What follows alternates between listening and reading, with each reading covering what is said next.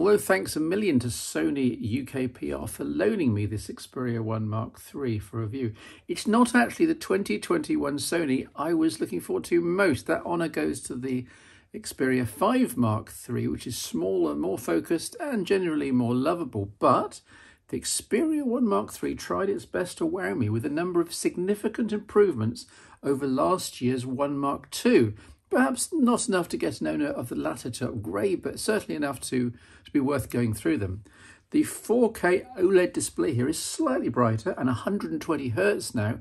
I still don't think it's bright enough for comfortable use outside in the sun, and it's one of the reasons I prefer the 5 range with the 1080p display that's more visible. And talking of displays, it's Gorilla Glass Victus here now, so super durable. Though I still didn't feel happy testing this for real out and about until I'd ordered in a clear TPU, as here, I'd hate to dent a review device.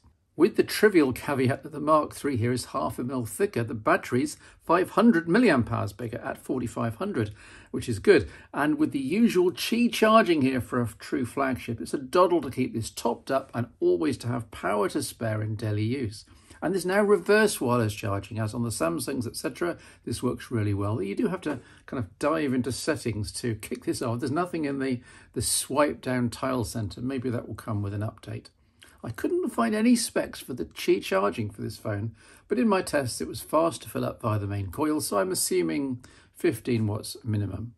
Carrying on the charging theme, this has now been up to 30 watts from I think 21, i.e. 15 volts and 2 amps. And there's a lovely little 30 watt power delivery charger in the box, so well done Sony.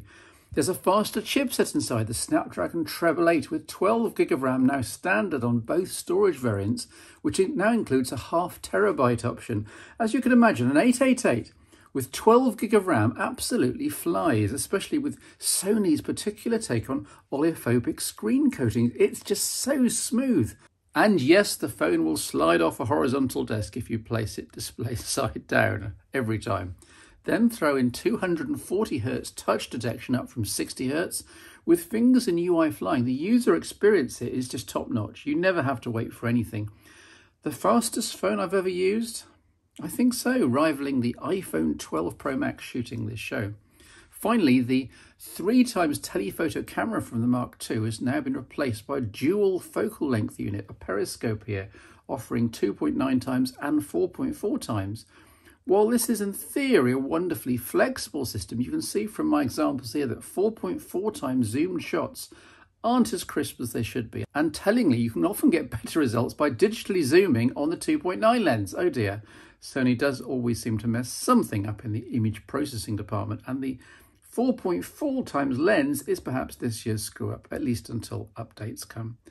Happily, away from this 4.4 times lens, photo results are terrific with naturalistic processing, great stabilization, and a good automatic multi-frame night mode.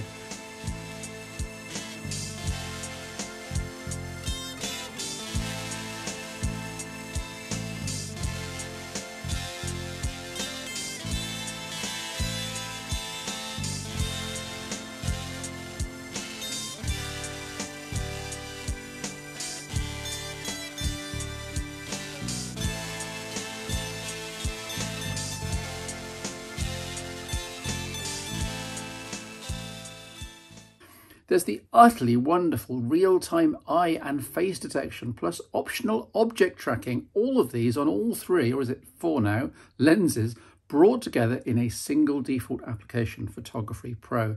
Essentially, its basic mode now is similar to the Mark II's camera app, and the other modes are from the old Pro app. Don't worry if this sounds confusing, it's really not anymore, happily. This can shoot video too here. Here's a sample. Test video here on the Xperia 1 Mark III at a very noisy weir. Trying out the different zoom factors though. And this on the 2.9 times telephoto. And this on the 4.4 times telephoto. Note that you can't switch between lenses during a shot, which is a tiny bit annoying. So back to one times and the sun keeps going in, which makes the white balance judgment on the framing rather, rather tricky. And for reference, with the sun now in, here's the wide angle video. There's also the same Cinema Pro video app as last year, and this hasn't been improved. It's still strictly for people with tripods and lots of time to fiddle and set up shots. Out of the box, this comes with Android 11, of course, and we'll get Android 13 in time in 2023, plus security updates through 2024 at the very least. Considering that this is a very vanilla Android with just a few uninstallable bits of bloatware, Asphalt, Call of Duty, Tidal, it's very pixel-like in terms of feel and speed. Sony does add a side sense feature, which I describe as inspired by Samsung's Edge screen, but dramatically not as useful. The highlight is probably multi-screen here, which you can set up at pairs and just recall them. It is handy, but is it just me? Do people actually use these features? I can't say I've actually ever used multi-window in anger on any phone. It makes for a great demo, but back in daily life, you want as much content as possible from each app, and that's almost always means full screen. Just as on Samsung, Sony's Android auto-detects video playback and leaps in by default to, quote, improve the visual quality. See this side-by-side demo. Essentially, it's upping luminance sharpness. Though the pedant in me might point out, if Sony hadn't gone for a dimish 4K panel in the first place, they wouldn't need to artificially increase clarity when you actually look at the screen. Media is in fact a bit of a crown jewel in the Sony Xperias these days. Each has a 3.5mm audio jack. Yes, they brought it back for last year's two ranges and it's present here and working very well. There's a decent amp used and it can drive all my test wired headphones. Don't worry too much about the reality audio and spatial sound. They're snake oil on the whole. Sorry, Sony. Sorry, Apple and others. I love my audio, but I just don't get the benefits for everyday music listening. But hey, whatever music format you want, whatever codec is needed, Sony ships them all out of the box. So there's peace of mind, at least, in terms of being future-proof. Plus, front-facing speakers with Dolby Atmos. His demonstration, full volume, Marillion Live,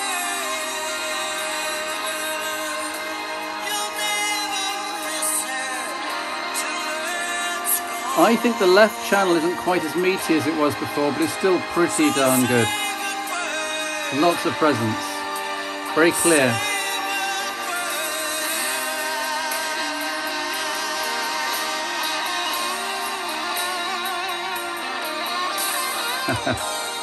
if you thought Marillion were dead after Fish, then you should check them out over the last 30 years. There's also dynamic vibration. This can't be overemphasized. It's wonderful. Although I can't really demonstrate it on video, when holding the Xperia 1 Mark III, the large haptic vibrator pulses as needed in time with loud noises and music. So you, you feel the kick drum, you feel the bass guitar, you feel gunshots and explosions in movies, at least not in games.